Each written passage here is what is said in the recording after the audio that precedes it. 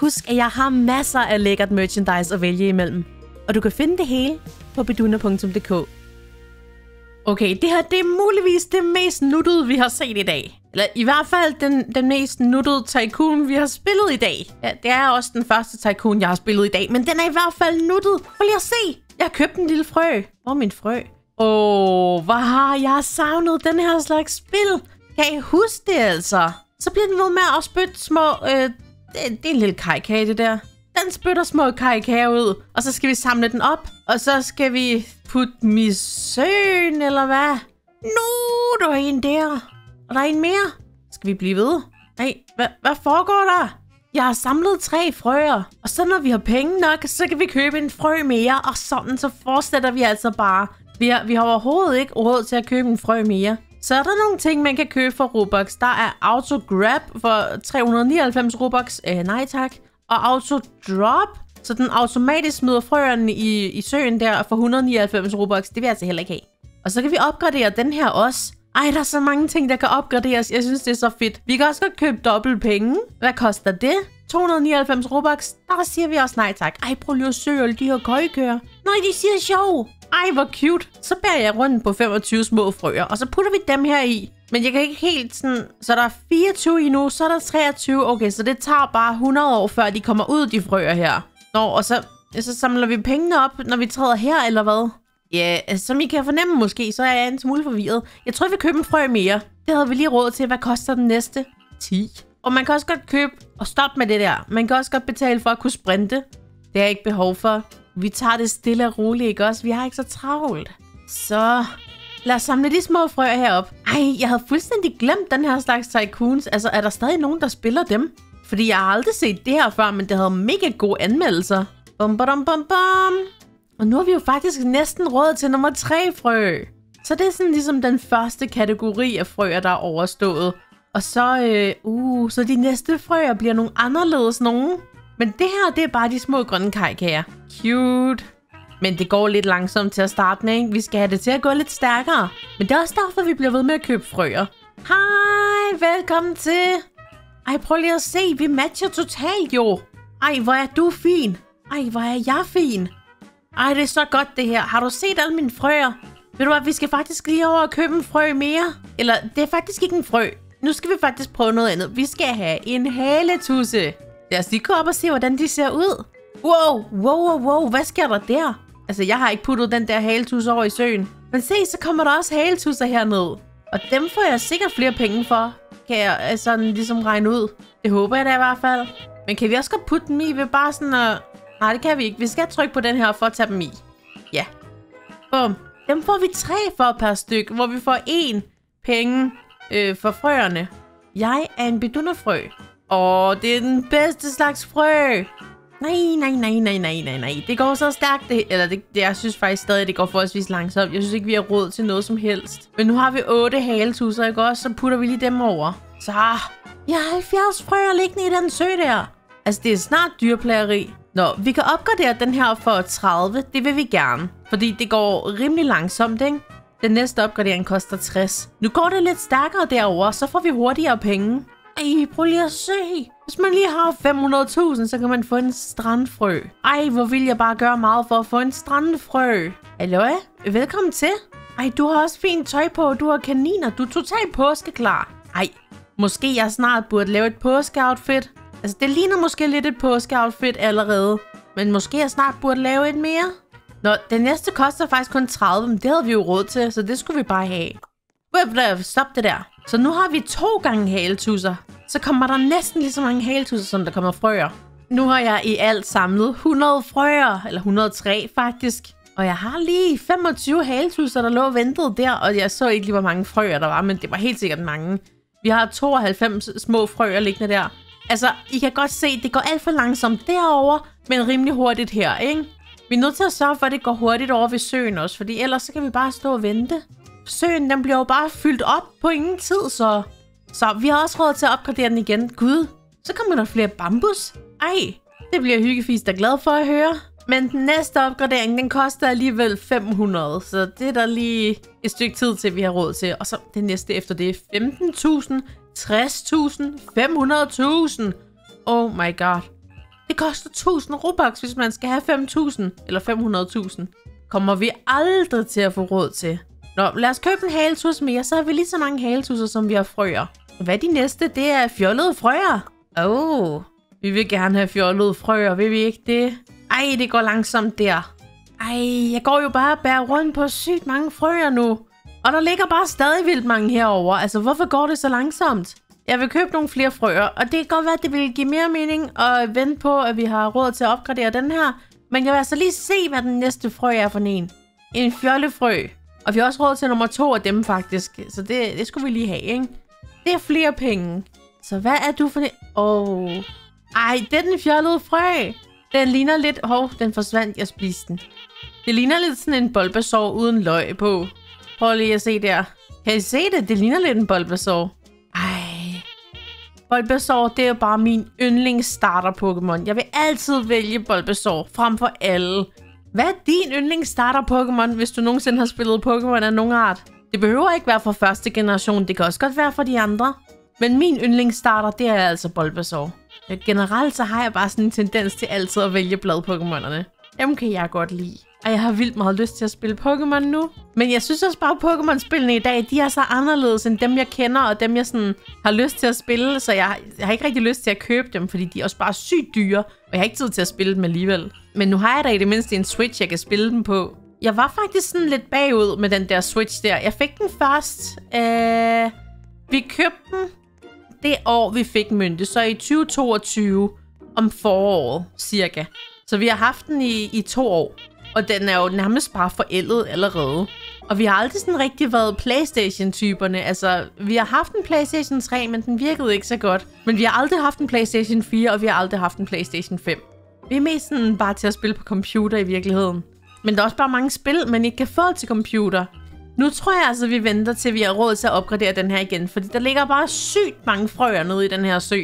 Der er totalt overbefolket. Eller overbefrøet hvis, hvis vi skal sige det på den måde. Men vi har også råd lige om lidt, så det gør ikke så meget. Det går faktisk rimelig stærkt, fordi at, øh, hvad er de der fjollefrøer værd? Den er heroppe, så der kan vi se det. Den er fem værd. Okay. Jamen altså, det er jo ganske glimrende. Så har vi råd nu. Sådan. Så fik vi nogle flere øh, sten.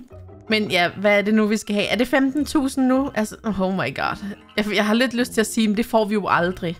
Men det gør vi jo nok. Hvor har du fået Bedunna-merch, bliver der spurgt. Jamen altså, hvis der er andre, der er i tvivl, så kan man finde alle mine trøjer i min Roblox-gruppe. Den hedder Bedunas officielle Roblox-gruppe. Jeg må hellere sige reklame, øh, selvom det kun er sådan en, en Roblox-ting. reklame, reklame. Kan I høre, hvad jeg siger? Men man kan selvfølgelig også bare gå ind på min avatar, og så klikke på den, jeg har på, og så finde den der. Men så kan man kun finde den, jeg har på lige nu. Køb Bedunnas merch i dag på Roblox. Det koster, det koster ikke 5 Robux. Nej, nej, nej. 8 Robux. Hvis den koster 5 Robux, så er det ikke min. Så er det en anden, der er en scammer. Man vil ikke købe tøj fra en scammer, vel? Men altså, det er da smart at kunne komme ind og spille den her dejlige tycoon. Og så følger der bare reklamesøjler med. Levende reklamesøjler. Og vinder, selvfølgelig. Vi skal lige købe os nogle flere frøer. Vi køber en fjollefrø mere. Og så skal vi have en arbejderfrø. Og vi kunne godt købe arbejderfrø mere, men vi har altså allerede råd til... Altså, vi kunne jo købe en Sony-frø ind et, og så, øh, så tror jeg, at den er mere værd. Så kan vi altid købe dem her efterfølgende, ikke? for de er jo også ret billige i forhold til Sony-frø. Okay, så arbejderfrø, det er ham den store der. Ej, prøv lige at se ham. Ej, han ser ret cool ud. Hvor er Sony-frø? Vi har købt en Sony-frø, har vi ikke? Åh, oh, det er den, der vender på hovedet. Ej, prøv lige at se. Den ligger bare der og sover. Lad os gå over og aflevere dem, og så se, hvad de er værd. Åh, oh, så arbejder frø er 10 værd, og Sony-frø er 15 værd. Det er altså noget af en opgradering. Så hver gang vi afleverer sådan en Sony-frø der, så er det det samme som at aflevere 15 af de almindelige. Det er ret vildt. Ej, men altså, lad os så bare købe en Sony-frø mere og en mere. Altså, vi behøver slet ikke købe dem der. Vi kunne godt, men de er mindre værd. Vi skal selvfølgelig købe dem alle sammen med tiden. Er ikke sikkert, vi når det. Jeg er sådan lidt tidsbegrænset i dag. Jeg tror, det handler om, hvor langt kan vi nå på en halv time, cirka. Så skal jeg sted. Det er nemlig sådan, at vi er stadig ved sådan at indkøre vores datter i den nye vuggestue. Det er mig, der står for det, fordi at Emil han har en arbejdsgiver, der gerne vil have, at han dukker op på et bestemt tidspunkt. Og jeg har jo sådan set min egen arbejdsgiver, og jeg vil også gerne have, at jeg dukker op på et bestemt tidspunkt, men nogen skal jo gøre det. og vi skal have den der. Men det betyder så, at mens I indkører, så skal hun hentes lidt tidligere, end hun plejer. Det var faktisk, I går var faktisk første gang, hun var der alene, og der var hun der kun i en time, og i, den, i dag, der skal hun være der alene i øh, to timer, tror jeg. Så det er sådan lidt spændende, men det virker bare som et rigtig godt sted, og det virker som om, hun rigtig godt kan lide dem derovre.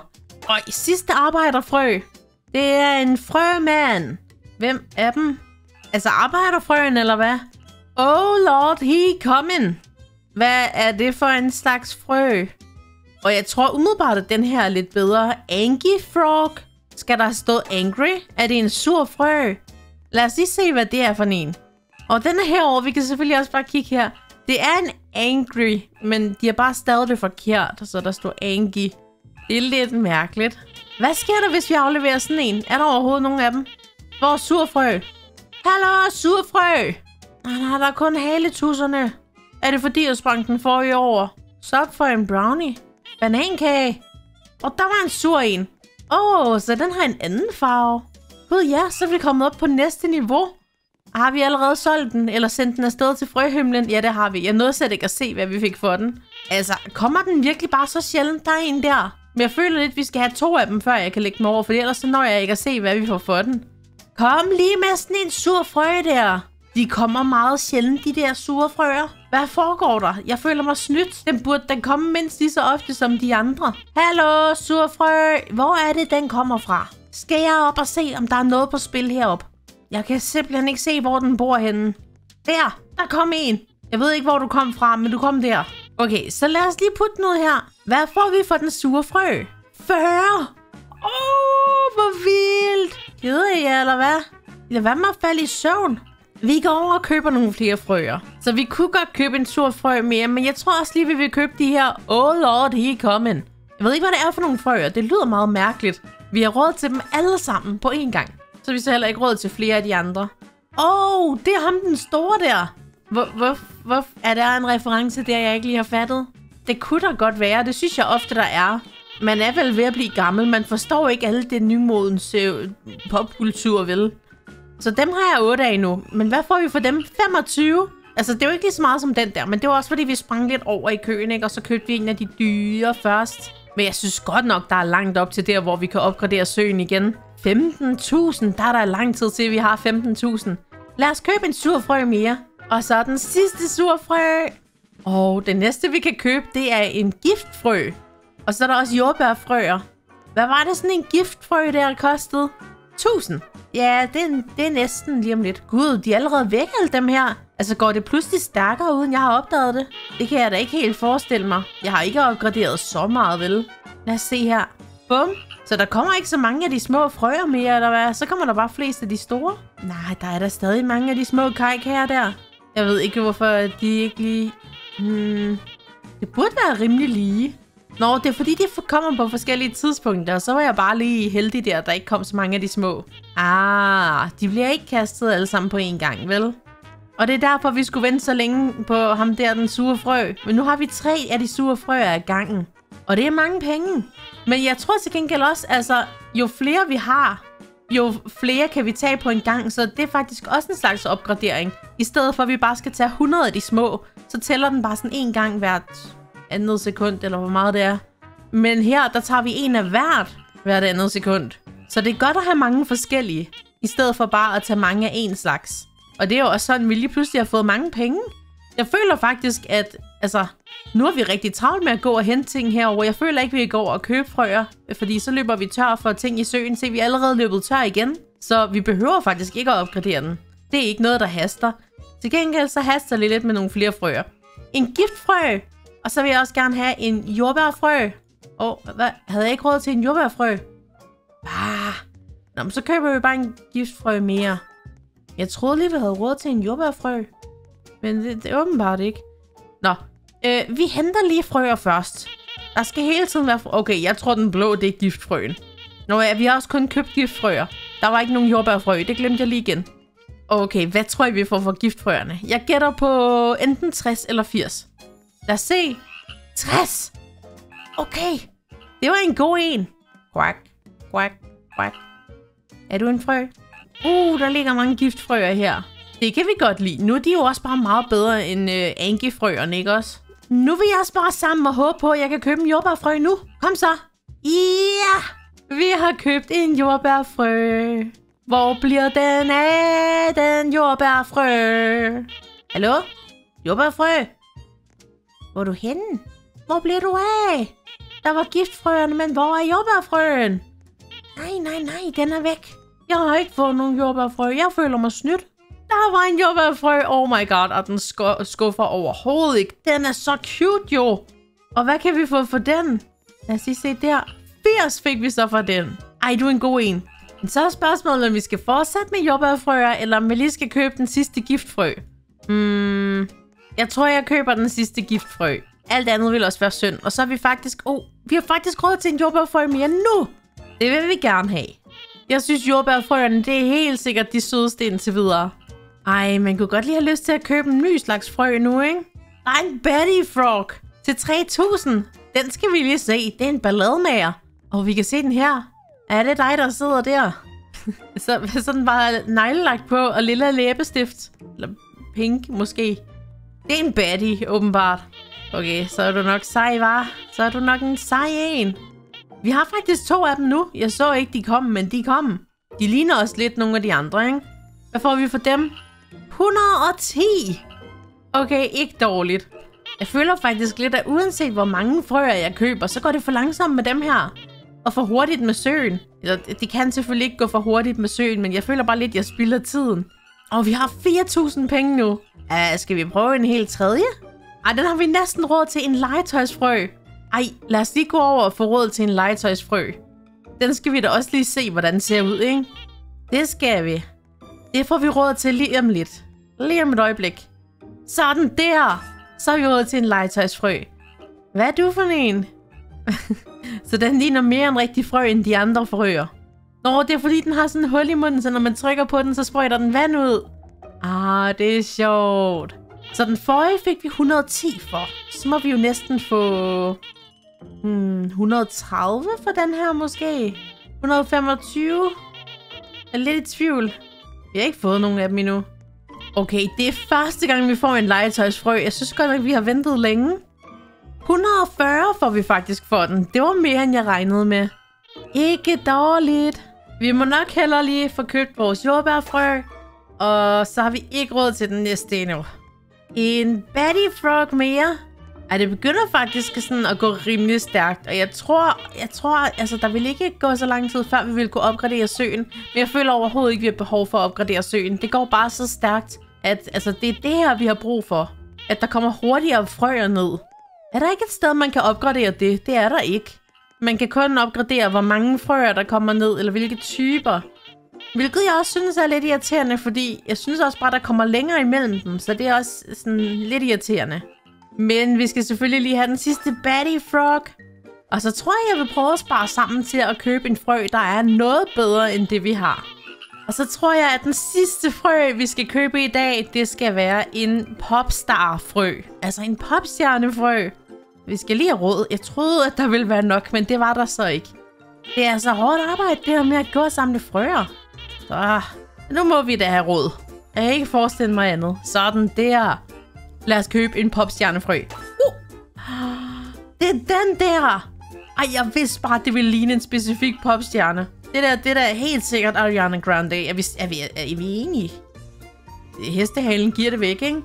Hvis du er uenig og synes, at det her ligner en anden popstjerne, så skriv det lige som en kommentar. Men nu hvor jeg tænker over det, så tror jeg faktisk kunne vel være sådan rimelig fornærmet over at blive sammenlignet med den her frø. Men vi skal se, hvad vi får for den. Nu er det jo sådan en del bedre. Den er faktisk i rød kategori, hvor de andre de har været altså max orange, ikke? Lad os lige se her. 250 for en frø. Okay, det var vildt det der. Jeg elsker den her slags tycoons. Er det noget, du godt kunne tænke dig at se på kanalen igen? Så skriv det som kommentar. Ellers så skal du have tusind tak, fordi du har set med. Ha' en mega dejlig dag, og så ses vi forhåbentlig i min næste video. Hej!